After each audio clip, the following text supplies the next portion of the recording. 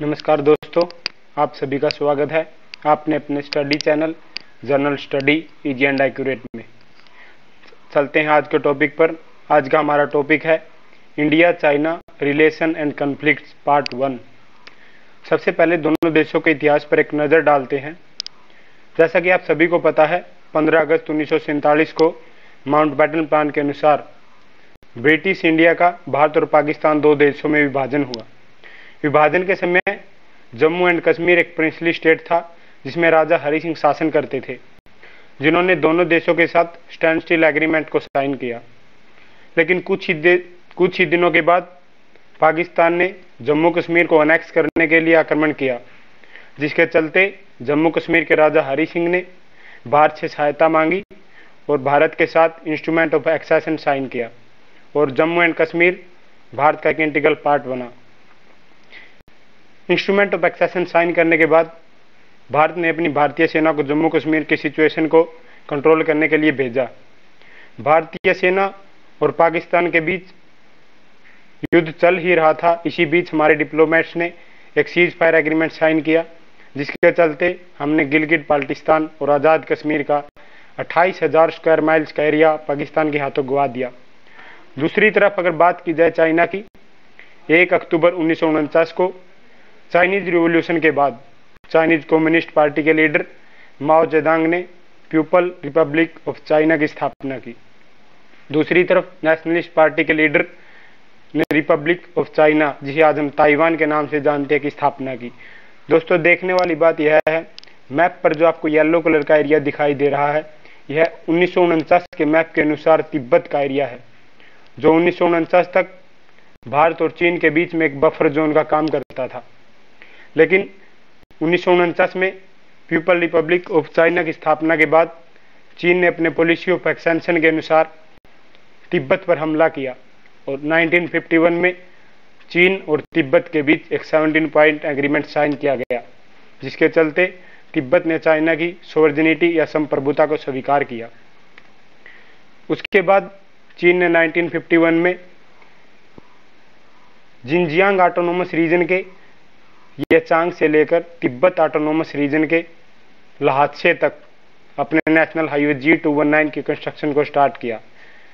इसमें सबसे इम्पोर्टेंट बात यह थी कि यह चीन का नेशनल हाईवे भारत के लद्दाख रीजन के अक्साई चीन के एरिया को क्रॉस कर रहा था। लेकिन भारत को इसके बारे में पता नहीं था। उसके बाद भारत के तत्कालीन प्रधानमंत्री पंडित जवाहरलाल नेहरू और चाइनीज़ प्रीमियर जो एन लाइन के बीच क्षेत्र में शांति बहाली के लिए और दोनों दोनों देशों के बायोलेटरल रिलेशन को इम्प्रूव करने के लिए पंसिल एग्रीमेंट पर साइन किया गया। और भारत की तरफ़ से हिंदी, चीनी भाई भाई के स्लोगन को बहुत प्रमोट किया गया। उसके बाद दोस्तों जानते हैं कुछ लाइन्स के बारे में, जिसके चलते आजकल बहुत सारे बॉर्डर डिस्प्यूट देखने को मिल रहे हैं। सबसे पहली लाइन ब्लैक डोटेड लाइन जो आपको इस मैप में सबसे ऊपर दिखाई दे रही है, इस लाइन का नाम है जॉनसन लाइन जॉनसन लाइन को 1865 में ब्रिटिश ईस्ट इंडिया कंपनी के सर्वे ऑफ़ इंडिया में काम करने वाले एक सर्वेंट डब्ल्यू एच जॉनसन ने भारत, चीन और तिब्बत की सहमति पर प्रदर्शित किया था। और चीन इस लाइन को, चीन इस लाइन को 1899 तक मानता था। दूसरी लाइन जो आपको ग्रीन कलर की लाइन दिखाई दिखाई दे रही है, वह मैकट, मैकटने मैकडोनाल्ड लाइन। जिसे 1899 में चीन के एग्रीमेंट पर रशिया के दबाव में आके ब्रिटिश ईस्ट इंडिया कंपनी ने स्वीकार किया। दोस्तों, उसके बाद जो ये ब्लू कलर की आपको लाइन दिखाई दे रही है, ये उन्नीस सौ उनसठ के बाद चाइना के एग्रेशन के बाद की चाइनीज़ ट्रूप्स की लाइन है, जो भारत पर उनके वार की तैयारी को दर्शाती है। और उसके बाद 1962 वार के बाद भारत और चीन के बीच ये coloured line line of actual control का काम करती है। और इसी कलर्ड लाइन के आसपास ये जो आप गालवन वैली और तसैंगपो लेक का एरिया देख रहे हैं। इसके इर्द गिर्द आज के समय में बहुत सारे मिलिट्री डिस्प्यूट्स और कन्फ्लिक्ट्स हो रहे हैं। उसके बाद दोस्तों बात करते हैं 1962 वार की।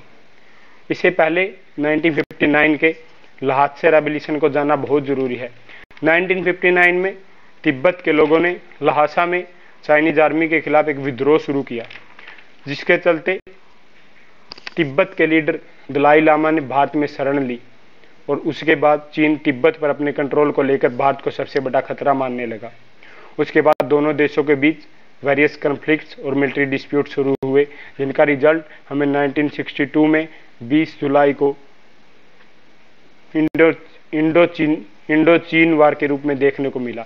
20 जुलाई उन्नीस को चाइना की पीपल लिबरेशन आर्मी ने तीनों फ्रंट लद्दाख, उत्तराखंड, सिक्किम और नॉर्थ वेस्ट में अरुणाचल प्रदेश के एरिया पर एक साथ वार किया। लेकिन हम चाइना पर बहुत ट्रस्ट करते थे और हमारे डिप्लोमेट्स इस बात को कभी स्वीकार भी नहीं करते थे, जिसके चलते हमने सिर्फ़ एरिया ऑफ़ कन्फ्लिक्ट में अपनी एक दो डिवीज़न को ही तैनात किया था। लेकिन महावीर चक्कर राइफलमैन जसवंत सिंह रावत जैसे लोगों के सेक्रीफाइस के बाद भी उन्नीस सौ बासठ का वार भारत हार गया। लेकिन इस वार के हारने के बहुत सारे मुख्य कारण थे। सबसे पहला मुख्य कारण हमारी आर्मी इस वार के लिए कभी तैयार नहीं थी और हमारे डिप्लोमेट ने इस वार पर कभी विश्वास भी नहीं किया। दूसरी चीज़, हम अपने फॉरवर्ड ट्रूप्स को कभी लॉजिस्टिक्स सप्लाई प्रोवाइड नहीं करा पाए और हमारे डिप्लोमेट्स और डिफेंस एक्सपर्ट्स ने कभी भारतीय वायुसेना के यूज़ के बारे में सोचा ही नहीं। इसमें सबसे मुख्य कारण रहा हमारे उस समय के तत्कालीन डिफेंस मिनिस्टर वी के कृष्णन मैनन और उस समय के chief of army staff general V K Thimayya के बीच की खटास। जिसके चलते भारत को यह युद्ध हारना पड़ा। लेकिन दोस्तों, बात करते हैं उस युद्ध की या उस लड़ाई की, जिसके बारे में चाइना में तो सब लोग जानते हैं, लेकिन भारत के और इतिहास के पन्नों में इस युद्ध को बहुत कम लोगों के द्वारा जाना गया। यह बात है नाथुला की, जो इंडिया, भूटान और चीन के ट्राई जंक्शन के पास एक पास है। 11 सितंबर उन्नीस सौ सड़सठ को, जब भारत के कुछ इंजीनियर्स और सेना के जवान नाथुला से लेकर सेबुला के बीच डिस्प्यूट्स और कन्फ्लिक्ट को खत्म करने के लिए वायर फेंसिंग का काम कर रहे थे। लेकिन इसी बीच चाइना के कुछ डिप्लोमेट्स और आर्मी के ऑफिसर्स ने इस बात का विरोध किया। लेकिन इंडियन आर्मी के न मानने के बाद चाइना ने एमएमजी और हैवी फायरिंग का प्रयोग किया, जिसके चलते आने वाले पाँच दिन में इंडियन आर्मी ने वो जवाब दिया जिसको चाइना आज तक नहीं भुला पाया। और इंडियन आर्मी ने चाइना के कम से कम 400 जवान और 10 से 12 बंकर को तबाह कर दिया। और चाइना नाथुला के एरिया से तीन से चार किलोमीटर पीछे हटने पर राज़ी हुआ और सीज फायर के लिए रिक्वेस्ट किया। उसी के कुछ दिन बाद, एक अक्टूबर उन्नीस सौ सड़सठ को नाथुला के पास ही चोला में क्लैसेज हुए, लेकिन शाम होते होते भारतीय सेना ने चीनी सेना को सीज फायर की रिक्वेस्ट के लिए मजबूर कर दिया। उसके बाद चाइना को पता लग गया कि वो भारत के साथ फेस टू फेस कभी लड़ाई अब जीत भी नहीं सकता। उसके बाद दोस्तों बात करते हैं 19, 1971 की। जब भारत ने यूएसएसआर के साथ एक ट्रीटी साइन की जिस ट्रीटी का नाम था treaty of peace friendship and cooperation लेकिन उसी बीच 1971 के इंडो पाक वार में चाइना ने पाकिस्तान को खुल के सपोर्ट किया। दोस्तों 1977 में मोराजी देसाई के नेतृत्व में जनता अलायंस की सरकार आती है और उस टाइम के हमारे external affair minister Atal Bihari Vajpayee China की विज़िट पर जाते हैं। इस विज़िट को भारत, चीन के बायोलेटरल रिलेशंस और बॉर्डर डिस्प्यूट में बहुत बड़े इंप्रूवमेंट के रूप में जाना गया। लेकिन उसके दो साल बाद पीपल रिपब्लिक ऑफ़ चाइना के फॉरेन मिनिस्टर 1981 में इंडिया की विज़िट पर आते हैं। लेकिन लगभग 20 साल, उन्नीस के क्लासेज के लगभग 20 साल के बाद सुमद्रुंगचू वैली में चाइना अपने सेमी परमानेंट स्ट्रक्चर बनाना शुरू कर कर देता है। दोस्तों, ये आप देख सकते हैं सुमद्रुंगचू वैली तवांग के नॉर्थ का यह एरिया अरुणाचल प्रदेश और नॉर्थ ईस्ट के एरिया पर बहुत स्ट्रेटेजिक और इम्पोर्टेंस रखता है। यहाँ से अरुणाचल प्रदेश के पूरे एरिया पर कंट्रोल किया जा सकता है। लेकिन इसके जवाब में हमारे तत्कालीन चीफ ऑफ़ आर्मी स्टाफ तत्कालीन chief of army staff general K Sundar ji और हमारे प्राइम मिनिस्टर राजीव गांधी ने एक ऑपरेशन को अंजाम दिया, जिस ऑपरेशन का नाम था ऑपरेशन फाल्कन इस ऑपरेशन के तहत मी 26 हेलीकॉप्टर की सहायता से हमारी ब्रिगेड ऑफ़ ट्रूप्स को मिनिमम टाइम में एरिया ऑफ़ कन्फ्लिक्ट में डिप्लॉय किया गया और दोनों आर्मी आमने सामने हुई। लेकिन गनीमत रही, दोनों की तरफ़ से फायरिंग नहीं हुई और कोई कैजुअलिटी भी नहीं हुई और चाइना ने पीछे हटने पर सहमति जताई। उसके बाद दोस्तों ये विज़िट इंडिया और चाइना के रिलेशन की सबसे महत्वपूर्ण विज़िट रही। ये देख सकते हैं आप मॉडर्न चाइना के क्रिएटर डेंग जियोपिंग और हमारे तत्कालीन प्रधानमंत्री राजीव गांधी, जो दिसंबर 1988 में बीजिंग में बायोलेटर रिलेशन में इंप्रूवमेंट के लिए बॉर्डर डिस्प्यूट्स के सोल्व के लिए एक महत्वपूर्ण मीटिंग पर गए थे। इसी मीटिंग के तहत भारत और चीन ज्वाइंट वर्किंग ग्रुप और ज्वाइंट इकोनॉमिक ग्रुप के एस्टेब्लिशमेंट के लिए राज़ी हुआ, जो दोनों देशों के बायोलेटरल रिलेशन ट्रेड रिलेशन और बॉर्डर डिस्प्यूट को बातचीत की सहायता से सुलझाने में अहम भूमिका निभाएँगे। और ज्वाइंट वर्किंग ग्रुप की छह राउंड की मीटिंग के बाद 1993 में 7 सितंबर उन्नीस सौ तिरानवे को दोनों देशों के बीच एक एग्रीमेंट साइन किया गया, जिस एग्रीमेंट का नाम था agreement on maintenance of peace and tranquillity along line of actual control and border दोस्तों नाइन पॉइंट के इस एग्रीमेंट में पॉइंट वन में क्लियर किया गया था कि भारत और चीन अपने बॉर्डर डिस्प्यूट को एक शांतिपूर्ण और बातचीत से सुलझाएँगे। पॉइंट टू में कहा गया था, भारत, चीन एल के साथ साथ अपनी सेना को कम करने का प्रयास करेंगे। और जिसके पॉइंट आठ में कहा गया था, भारत और चीन ज्वाइंट वर्किंग ग्रुप में अपने बाउंड्री डिस्प्यूट को सुलझाने के लिए डिप्लोमेटिक और मिलिट्री एक्सपर्ट्स को अपॉइंट करेंगे। इसके साथ साथ 1993 में तीन और एग्रीमेंट साइन किए गए, जिनमें सबसे मुख्य cross border trade cross border trade agreement cooperation in environment like pollution and global warming and radio and TV broadcasting रहे। उसके बाद ज्वाइंट वर्किंग ग्रुप की, आगे की मीटिंग्स के बाद उनतीस नवंबर उन्नीस सौ छियानवे को एक बहुत ही महत्वपूर्ण एग्रीमेंट साइन किया गया, जिसको यूएन पीस कीपर की साइट पर आप देख सकते हैं। इस एग्रीमेंट के अनुसार दोनों ने अपने म्यूचुअल कॉन्फिडेंस और ट्रांसपेरेंसी को मिलिट्री की फ़ील्ड और अलोंग दी एल बढ़ाने के लिए काम करने पर सहमति जताई। यह इलेवन आर्टिकल का यह एग्रीमेंट 1993 के एग्रीमेंट में मिलिट्री की फ़ील्ड में सुधार लाने का एक प्रयास था।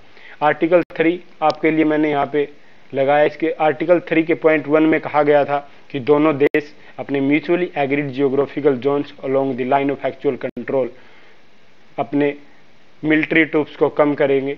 पॉइंट टू में कहा गया था। Along the LOC within mutually agreed geographical zones दोनों देश अपने combat tanks infantry combat vehicles guns like howitzer mortar with 120 mm और bigger calibre surface to surface missiles और सरफेस टू एयर मिसाइल्स और any other system of weapons दोनों देश कम करेंगे। उसके पॉइंट थ्री में कहा गया, दोनों देश अपने कम किए गए मिलिट्री फोर्सेज और आर्मामेंट्स का डाटा एक दूसरे के साथ शेयर करेंगे, ताकि दोनों देशों के बीच ट्रांसपेरेंसी बनी रहे। उसके बाद, दोस्तों 1998 में अपने न्यूक्लियर परीक्षण ऑपरेशन शक्ति के बाद, हमारे तत्कालीन डिफेंस मिनिस्टर जॉर्ज फर्नांडिस ने एक स्टेटमेंट दी थी, जिसमें उन्होंने कहा China is our number one threat जिसके बाद भारत और चीन के रिश्तों में थोड़ी खटास आई और पाकिस्तान ने 1999 के कारगिल वार में पाकिस्तान को खुल के सपोर्ट किया। लेकिन 2004 में दोनों देशों ने नाथुला और जालेपला के थ्रू ट्रेड करने पर सहमति जताई, जिसमें दोनों देशों के ट्रेड रिलेशन में बहुत इंप्रूवमेंट आया। और पहली बार इतिहास में दोनों देशों के ट्रेड यूएस 10 बिलियन डॉलर को क्रॉस किया, जो एक ऐतिहासिक जन, एक ऐतिहासिक संख्या है। इसके चलते 11 अप्रैल 2005 को इंडिया और चाइना एक और एग्रीमेंट पर साइन करते हैं, जिसको दोनों देशों के नेशनल सिक्योरिटी एडवाइजर्स के द्वारा साइन किया गया और 11 अप्रैल 2005 को इसको प्रोमोगुलेट किया गया, जिसका नाम था agreement on political parameters and guiding principle for the settlement of India and China border boundary question जो इंडिया और चाइना के बाउंड्री क्वेश्चन को सुलझाने पर कार्य करेंगे। इसके पॉइंट 11 पॉइंट्स के आर्टिकल के आर्टिकल वन में कहा गया था, भारत और चीन का बॉर्डर डिस्प्यूट कभी भी भारत और चीन के ओवरऑल डेवलपमेंट ट्रेड और अनदर मैटर्स को कभी अफेक्ट नहीं करेगा। आर्टिकल टू में कहा गया था, दोनों देश पंचशील साइन किए गए सिद्धांत पर कार्य करेंगे और अपने बॉर्डर डिस्प्यूट्स को पॉलिटिकल और मिलिट्री के दृष्टिकोण से सुलझाएँगे। और जिसके आर्टिकल टेन में कहा गया, भारत और चीन अपने स्पेशल रिप्रेजेंटेटिव्स को सिविल मिलिट्री सर्वेयर अपॉइंट करेंगे, जो आने वाले दिनों में अपने बॉडी डिस्प्यूट को पूरी तरह सुलझाने पर कार्य करेंगे। दोस्तों, आशा करता हूँ आप सभी को समझ आया होगा और आपको ये वीडियो अच्छी लगी होगी। दोस्तों, हम आपके लिए किसी भी करंट अफेयर टॉपिक या किसी भी यूपीएससी पीसीएस रेलवे और एसएससी परस्पेक्टिव से किसी भी इम्पोर्टेंट टॉपिक की फुल डिटेल वीडियो एक ही वीडियो में हम आपको प्रोवाइड कराते रहेंगे। Please like subscribe share and please comment जय हिंद जय भारत।